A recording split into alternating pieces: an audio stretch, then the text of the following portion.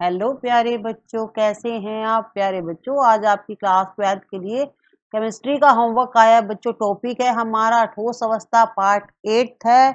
Chapter का नाम है बच्चों, ठोस अवस्था। तो चलिए बच्चों फ़र्स्ट क्वेश्चन स्टार्ट करते हैं। क्वेश्चन है अंत केंद्रित एकक कोष्टिका के केंद्र में स्थित अवयवी कणों की संख्या कितनी होती है? तो बच्चों, इसका आंसर है अंत केंद्रित एकक कोष्टिका के केंद्र में स्थित अवयवी कणों की संख्या एक होती है।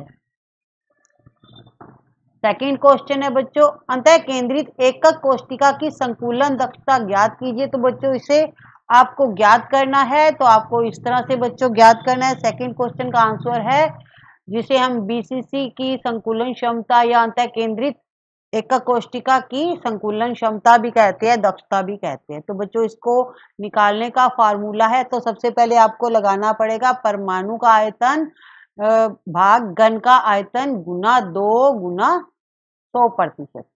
अब बच्चों, आपको फार्मूला लगाना पड़ेगा यहाँ पर।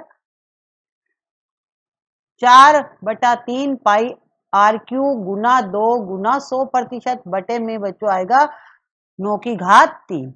तो बच्चों, यहाँ पर आपको z का मान दो देना पड़ेगा और a का मान चार आर बटे में रूट तीन। आगे बच्चों, आपको हल करना है चार बटा नौ गुना तो यहाँ पाई का मान लिखना है तीन दशमलव एक चार गुना आर क्यू गुना दो गुना सौ प्रतिशत। बटे में आएगा बच्चों आपका ब्रैकेट में चार आर बटे रूट तीन और ब्रैकेट बंद करके आपको तीन की घात लगानी है। उसके बाद बच्चों आएगा आठ बटा तीन गुना तो यहाँ पाई का मान लिखना है, तीन दशमलव एक चार गुना आर आर क्यू गुना सौ प्रतिशत, बटे में आएगा चौसठ आर क्यू और आपको अनरूट करना है तीन गुना तीन गुना, तीन। क्यों करना है? क्योंकि यहाँ पर आपको तीन को तीन बार गुना करना है। यहाँ पर देखिए, यहाँ पर तीन है रूट तीन। और आपको यहाँ से जब आप इसको तीन को तीन बार गुना करोगे तो आपको यहाँ पर तीन बार गुना करना है। उसके बाद बच्चों, आपको करना है आठ बटे तीन गुना तीन दशमलव एक चार गुना आर क्यू गुना सौ प्रतिशत। बटे में आएगा बच्चों चौसठ आर क्यू बटे में तीन रूट तीन। बच्चों, रूट तीन का मान होता है एक दशमलव सात तीन दो और पाई का मान बच्चों तीन दशमलव एक चार होता है। यहाँ साइड में लिखा हुआ है, आप नोट कर लीजिएगा। तो बच्चों, यहाँ आपको करना है आठ गुना तीन दशमलव एक चार गुना आर क्यू गुना तीन रूट तीन गुना सौ प्रतिशत तो बच्चों बटे में आएगा तीन गुना चौसठ आर क्यू। यहाँ बच्चों आपको कट करना है, आप कट कर सकते हो। जैसे आठ को आप कर, कट करोगे चौसठ से तो आठ आ जाएगा। फिर आप आठ को कट करोगे सौ से तो कट जाएगा आपका इस तरह से। आप काट भी सकते हो। तो बच्चों आपको यहाँ लिखना है अब तीन दशमलव एक चार गुना। जब आप कट करोगे तो आपका आंसर निकलेगा ये। तो यहाँ पर आपको रूट तीन का जो मान दे रखा है वो लिखना एक दशमलव सात तीन दो गुना पच्चीस। को जब आप कट करोगे तो यह आपका शॉर्ट में आंसर आएगा। तो आपको कट करना आता है, आप कर सकते हो कट। अगर मैं यहाँ कट करके दिखाऊँगी बच्चों लेंथी हो जाएगा तो आप कट करिएगा।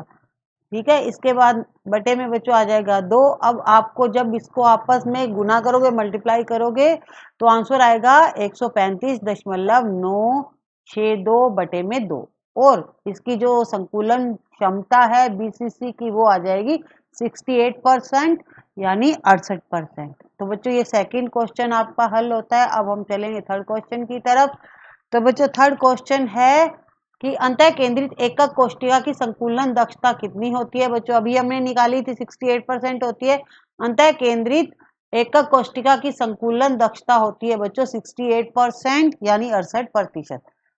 चौथा प्रश्न है, अंत केंद्रित एकक कोष्टिका में कुल अवयवी कणों की संख्या ज्ञात कीजिए। तो बच्चों, आपको यहाँ पर फार्मूला लगाना पड़ेगा। सबसे पहले कोनों पर कण कितने होते हैं? गुना में एक कण का योगदान प्लस केंद्र पर कण गुना एक कण का योगदान। तो बच्चों, कोनों पर कण होते हैं आठ और एक कण का योगदान होता है एक बटा आठ। और फिर प्लस में आएगा बच्चों, केंद्र पर एक कन होता है। हमने स्टार्टिंग में जो फ़र्स्ट क्वेश्चन था, उसमें दिया था। कि केंद्र पर कितने कन होते हैं? तो एक कन हो गया बच्चों, और गुना में आएगा एक कन का योगदान। तो बच्चों, कट करने पर आप एट को एट से कट करोगे तो एक रहेगा और यहाँ पर एक गुने में एक आ जाएगा और एक और एक होते हैं बच्चों दो कन तो कुल कनों की संख्या होती है बच्चों यहाँ पर दो कन अब आपको बच्चों फिफ्थ क्वेश्चन करना है कि एसएससी व बीसीसी के लिए अवयवी कणों की संख्या ज्ञात कीजिए। तो बच्चों, आपको ज्ञात करके दिखानी पड़ेगी। S C S S, C में अवयवी कणों की संख्या होती है, बच्चों, कणों की संख्या गुना एक कण का योगदान।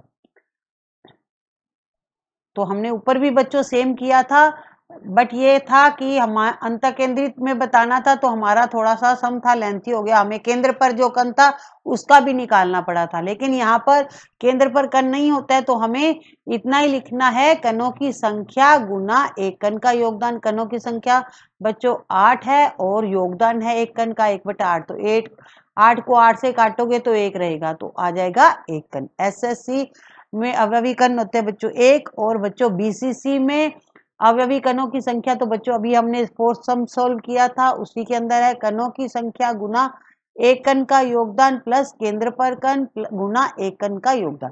तो आएगा बच्चों, पहले कणों की संख्या आठ हो गई है, एक कण का योगदान एक बटा आठ। केंद्र पर कितने कण है? एक कण है, हमने एक लिखा है और एक कण का योगदान एक आएगा।